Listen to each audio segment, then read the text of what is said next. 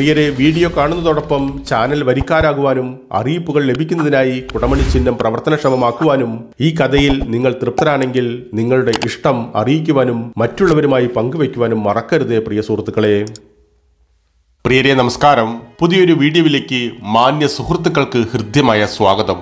സ്വയം യഥാർത്ഥ വാസുദേവൻ അതായത് വിഷ്ണുവിന്റെ അവതാരമായി കണക്കാക്കുകയും തന്നോട് യുദ്ധം ചെയ്യാൻ സാക്ഷാൽ കൃഷ്ണനെ വെല്ലുവിളിക്കുകയും ചെയ്ത പൗണ്ഡ്രക രാജ്യത്തിലെ രാജാവായിരുന്നു പൗണ്ഡ്രക വാസുദേവൻ. വൃദ്ധ ശർമ്മ രാജാവിന്റെയും ശ്രുതദേവ രാജ്ഞിയുടെയും പുത്രനാണ് പൗണ്ഡ്രക വാസുദേവൻ. ശ്രീകൃഷ്ണന്റെ പിതാവായ വാസുദേവന്റെ സഹോദരിയായിരുന്നു അദ്ദേഹത്തിന്റെ അമ്മയായ ശ്രുതദേവ. ഭാഗവത പുരാണം വിഷ്ണു പുരാണം പത്മപുരാണം സ്കന്ദപുരാണം ബ്രഹ്മപുരാണം മഹാഭാരതം എന്നിവയിൽ അദ്ദേഹത്തെക്കുറിച്ച് വ്യത്യസ്തമായ പ്രതിപാദനങ്ങളുണ്ട്. മറ്റൊരു പതിപ്പിൽ അദ്ദേഹം ശ്രീകൃഷ്ണന്റെ പിതാവല്ലാത്ത മറ്റൊരു വാസുദേവന്റെയും കാശിയിലെ രാജകുമാരി സൂതനുവിന്റെയും മകനാണെന്ന പ്രതിപാദവുമുണ്ട്. പൗണ്ട്രകൻ രാജ്യത്തിന്റെ രാജാവായതുകൊണ്ടാണ് അദ്ദേഹത്തിന് പൗണ്ട്രകൻ എന്ന പേര് ലഭിച്ചതെന്നാണ് പൊതുവെയുള്ള വിശ്വാസം. പൗണ്ട്രക എന്ന വാക്കിന് രണ്ട് അർത്ഥങ്ങളുണ്ട്. ഇളം വൈക്കോലിന്റെ നിറമുള്ള കരിമ്പന്തും പഞ്ചസാര തിളപ്പിക്കുക എന്നത് അവരുടെ കച്ചവടമായി വാറ്റിയെടുക്കുന്ന ജാതിയിൽപ്പെട്ട വൈശ്യ സ്ത്രീ വിഭാഗത്തിൽ നിന്നുള്ള മിശ്ര ജാതിയിൽപ്പെട്ട ഒരു പുരുഷനെന്നും പൗണ്ട്രകൻ എന്ന പേരിനാൽ അർത്ഥമാക്കുന്നു. പത്മപുരാണം പ്രകാരം എന്തുകൊണ്ടാണ് യഥാർത്ഥ വാസുദേവൻ താനാണെന്ന് പൗണ്ട്രക വാസുദേവൻ കരുതിയതെന്ന് പ്രതിപാദിക്കുന്നുണ്ട്. ശിവഭക്തനായിരുന്ന പൗണ്ട്രക വാസുദേവൻ പന്ത്രണ്ട് വർഷത്തോളം കഠിനമായ തപസ് ചെയ്തു. ദേവനാമം ആവർത്തിച്ചാവർത്തിച്ചുച്ചരിക്കുന്ന വേളയിൽ അദ്ദേഹം തന്റെ താമര പോലുള്ള കണ്ണ് സമർപ്പിച്ച് ശിവനെ ആരാധിച്ചു. തന്റെ ഭക്തന്റെ ആരാധനയിൽ മനമലിഞ്ഞ സംഹാരമൂർത്തി തൃശൂലവുമേന്തി പൗണ്ട്രകന് മുൻപിൽ അവതരിച്ചു. ഉചിതമായ ഒരു വരം ചോദിക്കുവാൻ തന്റെ ഭക്തന് അനുമതി നൽകി. അല്ലയോ വരദാതാവേ എനിക്ക് വാസുദേവന്റെ അതായത് ശ്രീകൃഷ്ണന്റെ രൂപത്തിന് സമാനമായ ഒരു രൂപം നൽകുമാറാകണമേ. തന്റെ വിചിത്രമായ ആഗ്രഹം പൗണ്ട്രകൻ ശിവനോട് പ്രകടിപ്പിച്ചു. താമരദളങ്ങൾ പോലുള്ള കണ്ണുകളുള്ള വസുദേവന്റെ കിരീടത്തോട് സാമ്യമുള്ള ആകർഷകമായ മുടിയുള്ള സുദർശന ചക്രവും ശംഖും ഗതയും താമരയും ഏന്തിയ നാല് ഭുജങ്ങളോട് കൂടിയ ഒരു രൂപം ശിവൻ അദ്ദേഹത്തിന് നൽകി. വാസുദേവന്റെ അടയാളങ്ങളായ മഞ്ഞ വസ്ത്രവും ഭഗവാൻ കൃഷ്ണന്റേതുപോലുള്ള ആഭരണങ്ങളും എനിക്ക് തരൂ. അപ്രകാരം കൂടെ ശിവനോട് അദ്ദേഹം ആവശ്യപ്പെട്ടു. പരമശിവൻ അതെല്ലാം അദ്ദേഹത്തിന് നൽകി.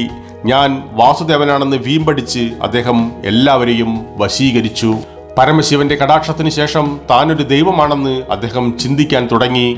ഒരു ദിവസം നാരദമുനി സ്വർഗത്തിൽ നിന്ന് പൗണ്ഡ്രക രാജ്യത്തിലെത്തിയപ്പോൾ പൗണ്ഡ്രക വാസുദേവനെ ഓർമ്മിപ്പിച്ചു. ശ്രീകൃഷ്ണനെ ജയിക്കാതെ നിങ്ങൾക്കൊരിക്കലും വാസുദേവ പദവി ലഭിക്കില്ല എന്ന്. ഇനി തുടർന്ന് പ്രതിപാദിക്കുന്ന കഥയുടെ ഭാഗത്തിന് ആധാരം ഭാഗവത പുരാണമാണ്. അതിനാൽ പൗണ്ഡ്രക രാജാവ് ദ്വാരകയിലെ ശ്രീകൃഷ്ണന്റെ അടുത്തേക്ക് ഒരു ദൂതനെ അയച്ചു. പൗണ്ഡ്രകനെ പ്രതിനിധീകരിച്ച് ആ ദൂതൻ ശ്രീകൃഷ്ണന്റെ മുൻപാകെ ഇപ്രകാരം ധരിപ്പിക്കുന്നു. ഞാനാണ് ഏക വാസുദേവൻ. പകരമായി മറ്റൊന്നില്ല. ജീവജാലങ്ങളോട് കരുണ കാണിക്കാൻ ഈ ലോകത്തിലേക്ക് ഇറങ്ങി വന്നത് ഞാനാണ്. അതിനാൽ നിങ്ങളുടെ തെറ്റായ പേര് ഉപേക്ഷിച്ച് വിഡ്ഢിയായി നിങ്ങൾ ഇപ്പോൾ വഹിച്ചുകൊണ്ടിരിക്കുന്ന എന്റെ ചിഹ്നങ്ങൾ ഉപേക്ഷിക്കുക.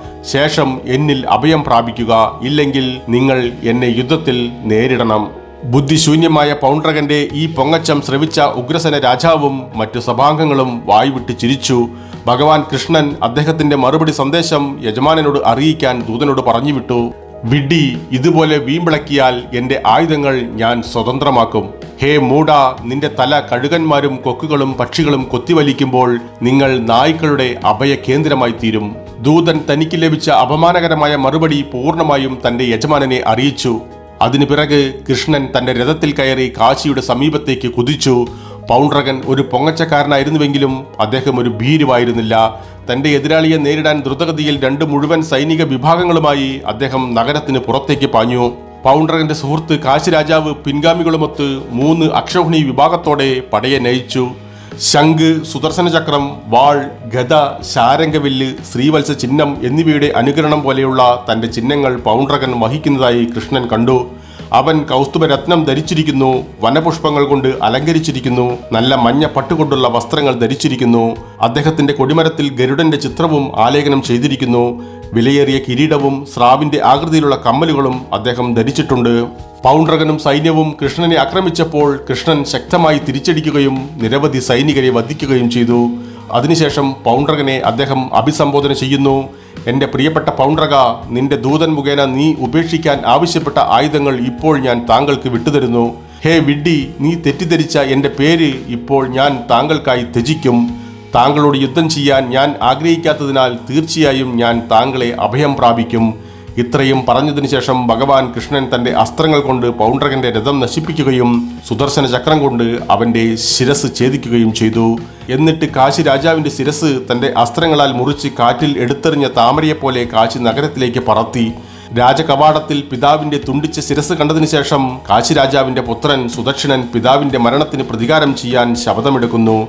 അതിനായി സുദക്ഷിണൻ ശിവനെ ആരാധിക്കുവാൻ തുടങ്ങി. രാജകുമാരൻ തന്റെ പിതാവിന്റെ ഹത്യയ്ക്ക് പ്രതികാരം ചെയ്യാൻ ശിവനോട് മാർഗം ആരാഞ്ഞു. ഇവിടെ ശ്രദ്ധിക്കേണ്ട ഒരു കാര്യമുണ്ട്. ചില പതിപ്പുകളിൽ പൗണ്ഡ്രക വാസുദേവന്റെ മകനാണ് കൃഷ്ണനോട് പ്രതികാരം ചെയ്യാൻ ശ്രമിച്ചതെന്നും പ്രതിപാദിക്കുന്നുണ്ട്. പരമശിവൻ സുദക്ഷിണനോട് ഒരു ഉപായം നിർദ്ദേശിക്കുന്നു. ബ്രാഹ്മണരുടെ അകമ്പടിയോടെ ദക്ഷിണാഗ്നി അഗ്നിയെ യഥാർത്ഥ പുരോഹിതന്റെ അഭിചാര ആചാരത്തിന്റെ നിർദ്ദേശങ്ങൾ പാലിച്ച് സേവിക്കുക. അപ്പോൾ ദക്ഷിണാഗ്നി അഗ്നി അനേകം പ്രമദന്മാരുമായി ചേർന്ന് ബ്രാഹ്മണരോട് ശത്രുതയുള്ള ആരെയെങ്കിലും നേരിടാൻ നിങ്ങളുടെ ആഗ്രഹം നിറവേറ്റും. അങ്ങനെയൊരു നിർദ്ദേശം ലഭിച്ച സുദർശനൻ ആചാരപരമായ നേർച്ചകൾ കർശനമായി പാലിക്കുകയും കൃഷ്ണനെതിരെ അഭിചാരം പ്രയോഗിക്കുകയും ചെയ്തു. ചടങ്ങുകൾ പൂർത്തീകരിക്കപ്പെട്ടതോടെ അഗ്നികുണ്ടത്തിൽ നിന്ന് അത്യുഗ്രമായ ഒരു അസുരൻ എഴുന്നേറ്റ് പ്രേതാത്മാക്കളുടെ അകമ്പടിയോടെ ദ്വാരക ലക്ഷ്യമാക്കി. അസുരന്റെ രംഗപ്രവേശനത്തോടെ ദ്വാരകവാസികൾ ഭയചകിതരായി നാനാ വശത്തേക്ക് ഓടുവാൻ തുടങ്ങി. അവർ രാജകൊട്ടാരത്തിൽ ശരണം പ്രാപിച്ച് തങ്ങളെ കാക്കുവാൻ ശ്രീകൃഷ്ണനോട് അപേക്ഷിച്ചു. അസുരനെ നേരിടുവാൻ കൃഷ്ണൻ തന്റെ സുദർശന ചക്രം അയക്കുന്നു സുദർശന ചക്രം ദശലക്ഷക്കണക്കിന് സൂര്യന്മാരെ പോലെ ജ്വലിച്ചുകൊണ്ട് അസുരനെ ലക്ഷ്യമാക്കി. അതിന്റെ ചൂടിനാൽ ആകാശത്തെയും ഭൂമിയെയും നാല് ദിശകളെയും അഗ്നിജ്വാലയായ അസുരനെയും വേദനിപ്പിച്ചു. സുദർശന ചക്രത്തിനെതിരെ പ്രവർത്തിക്കാനാവാതെ അസുരൻ കാശിയിലേക്ക് തിരികെ മടങ്ങി. അവിടെ എത്തിയ അസുരൻ നഗരം വളയുകയും സുദർശനെയും അദ്ദേഹത്തിന്റെ പുരോഹിതന്മാരെയും ചുട്ടുകൊല്ലുകയും ചെയ്തു. സുദർശന ചക്രം രാക്ഷസനെ പിന്തുടർന്ന് കാശിയിൽ പ്രവേശിച്ച് നഗരത്തെ മുഴുവൻ ചുട്ടരിച്ചു. അതിൽ എല്ലാ രാജ്യസഭകളും ഉയർന്ന പൂമുഖങ്ങളുള്ള പാർപ്പിട കെട്ടിടങ്ങളും നിരവധി ചന്തകളും പ്രവേശന കവാടങ്ങളും കാവൽമാടങ്ങളും സംഭരണികളും ഖജനാവുകളും ആനകളും കുതിരകളും രഥങ്ങളും അടങ്ങുന്ന എല്ലാ കെട്ടിടങ്ങളും തകർന്ന് തരിപ്പണമായി. ദൗത്യം പൂർത്തിയാക്കിയ ശേഷം സുദർശന ചക്രം ശ്രീകൃഷ്ണന്റെ അടുത്തേക്ക് മടങ്ങി. ചില സ്രോതസ്സുകൾ പ്രകാരം പൗണ്ഡ്രക വാസുദേവൻ ജരാസന്ധന്റെയും ശകിനിയുടെയും സഖ്യകക്ഷിയും ശ്രീകൃഷ്ണന്റെ പ്രധാന ശത്രുവുമായിരുന്നു.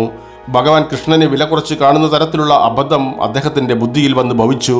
അകാലത്തിൽ തന്റെ മൃത്യു സ്വയം വരുത്തിവെച്ചു. എന്താണ് പ്രിയരെ പൗണ്ടറിനെ കുറിച്ചുള്ള നിങ്ങളുടെ അഭിപ്രായങ്ങൾ?